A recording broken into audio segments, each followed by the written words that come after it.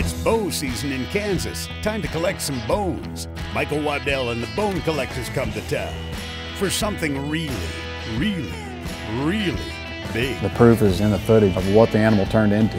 I mean, if I can get a shot at him, I don't know if I'll ever shoot another buck in my life. If Michael takes him, it'll be the biggest of his career. That deer was the biggest deer I ever come to full draw on. A big new Meet the McMillans Sunday at 8.30 on Sportsman Channel.